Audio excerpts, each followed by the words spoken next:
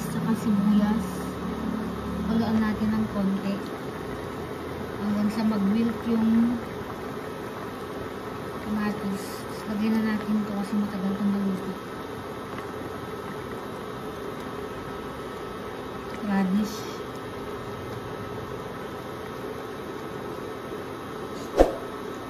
Pabuhin natin.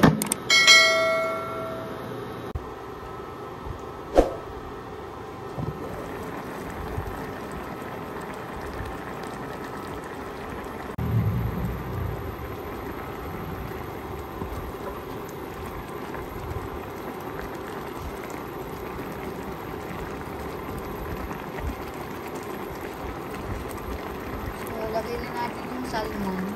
Salmon isda. Siyempre, isda. Meron pa bang ibang salmon?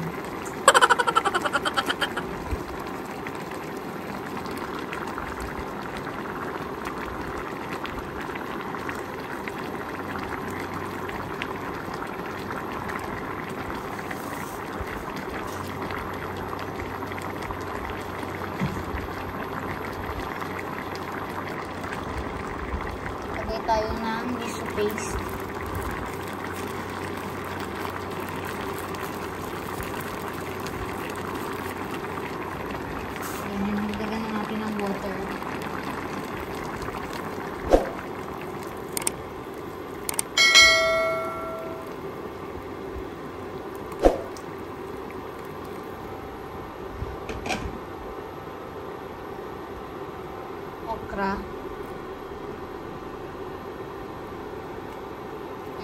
and long green chili.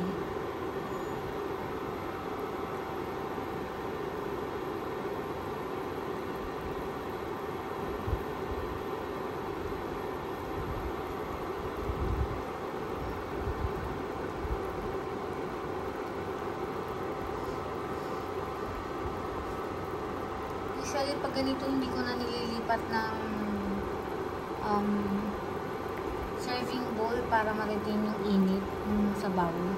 So, ito na rin yung ginagamit kong nilalagay ko sa lamesa. Dining table. At gusto nyo manghang, slice nyo to ng half lang ng sili.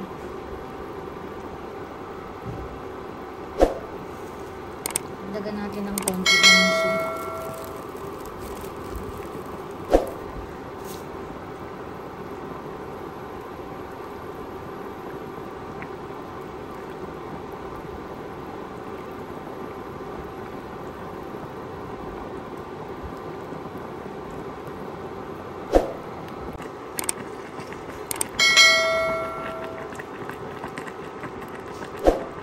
So, gusto ko ng medyo maasim-asim ng konti pa. Lalagyan ko siya ng freshly squeezed na calamansi juice.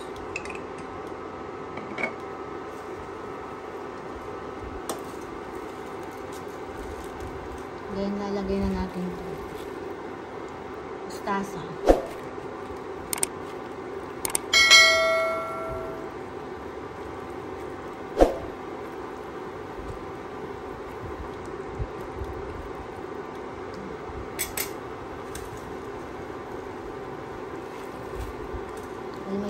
sa mustasa, lagay natin na.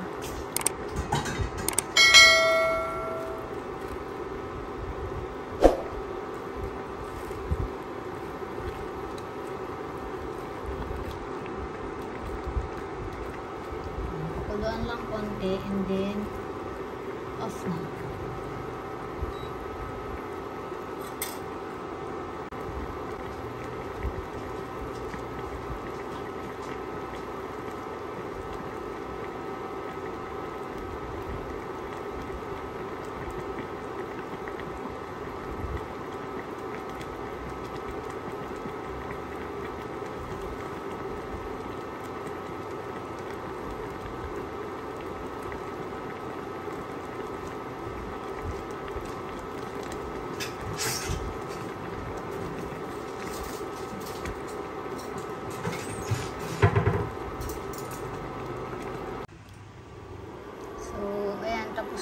Isa-serve ko na lang ng ganito para mainit pa rin yung sabaw.